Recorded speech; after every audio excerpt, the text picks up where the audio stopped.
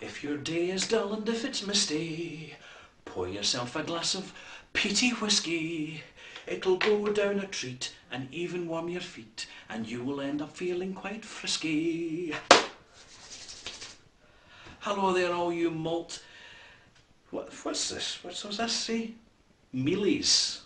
Oh, that's crap. Try something else. Hello, all you malt uh, mountain alpine scapes.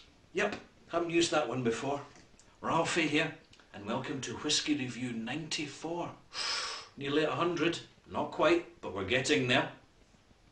And uh, what have we got today? Well, I thought I would carry on the Islay Peated Whisky theme from Whisky Reviews number 92 and number 93. So for number 94, we've got one of my favourites, Caol Ila. Oh, hear that pop. Glug, glug, glug. Again, that coloured Islay bottle. Simple clear label. Dark coloured box. How very peated.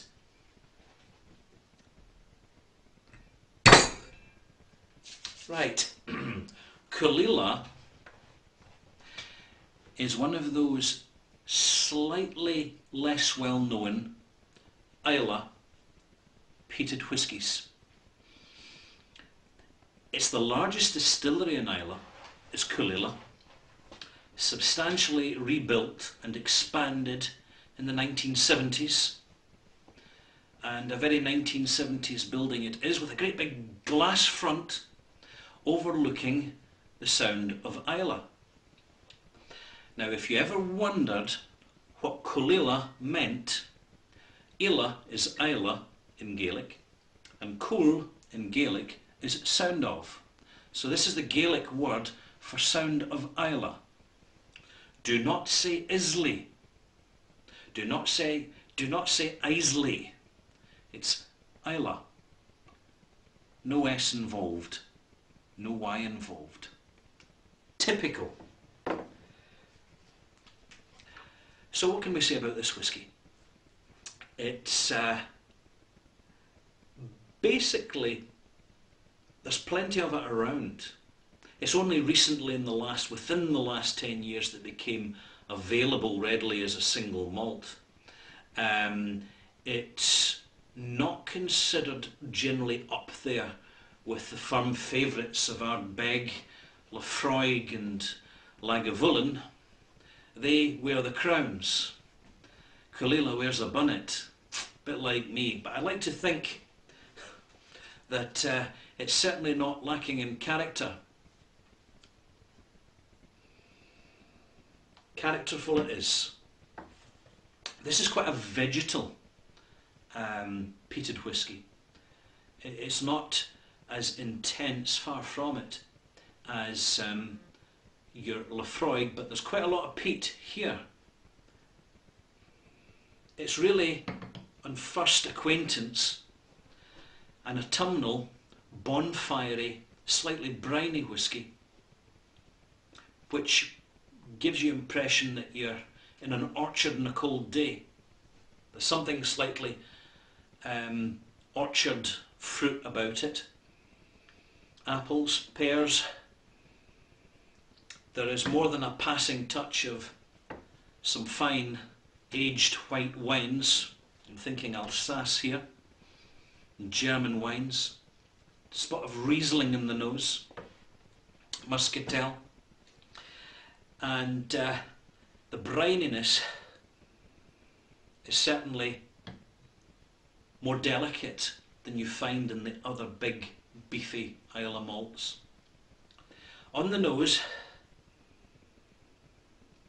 there's almost a delicate intensity. Incidentally, just out of interest, in the non-named bottles of Islay whisky, your Ileachs, your Islay Mists, your Taste of Islay, Sound of Islay, Whispers of Islay, all these non-distillery specified single malt whiskies that you can buy at a cheaper cost. The chances are very high that they are Caol Ila because there's plenty of it. Caol Ila, incidentally, along with Talisker, is the linchpin. It is the foundation stone of those particularly well-known blended whiskies. Black Label, Johnnie Walker Black Label, and that blend of malt whisky, Green Label. And a damn good job they do of it too. So if you, if you want to do an experiment, by the way, take your Caol if you've got it and add a dash of um, Talisker. Uh, they do actually, once you get the balance right, it's really two-thirds Talisker, one-third Caol and you get a very interesting dram going on there. Well worth trying. Bonfires, it really is. There's something, when I say autumn, autumnal, I'll try that again. When I say autumnal, you have to be in the northern hemisphere. So if you're Canadian, Scandinavian, Russian, Ukrainian, North America, North States of America, particularly New England, you'll understand where I'm coming from. There's a lovely, sweet, slightly oily nature to this. There's a touch of understated sophistication. Let's have a taste. Now this is bottled at 43%, should be 46, but there we go. And uh, they've eased off the caramel, which is a relief. Hmm. Oh, it's lovely, pungent. You immediately get this slightly fire-infused, warming glow. It really has a tremendous glow as soon as it arrives. That almost it runs right along your tongue and down your throat and leaves the flavour behind apple smoke. It's almost peat in, in white port. So there's a sweetness and a dryness together. I think you've probably gathered, I do love this stuff. Now, that's why, one of the reasons I love this is because in independent bottlings, standards are generally pretty, pretty good. So whether it be Gordon MacPhail, Signatory, Cadenhead, all the independent bottlers. I've only once in 10 years come across an independent bottling of Caol Ila which left me slightly below the line. Now that's good going. It's consistently a good whisky and occasionally in independent bottles because they're presenting as it should be cask strength, no chill filtration, no caramel added. You're getting it at its best, and, and it can be it really can be quite spectacular. Ask the connoisseurs; they'll tell you. Mm.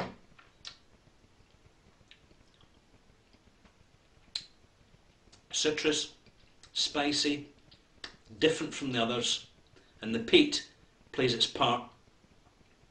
It doesn't call the shots. The peat's more integrated fizziness, a lovely, gentle, glowing heat. What we're going to give this? Going to give this 89 out of 100. It's a malt mark. I would have given it more, guys, but it's been of toned down with the bottling strength at 43%. Should be 46. Incidentally, if you look hard enough, you may find the cask strength version of Caol Ila it's up in the 50% odd, and, and the official bottling, let me tell you, it's an absolute fireworks show. Cordite, carbolic, the lot. Uh, when I get hold of a bottle, when I'm able to pin one down, I'll share it with you and let you know. Right, one more sniff and then it's time to go. Time for my tea.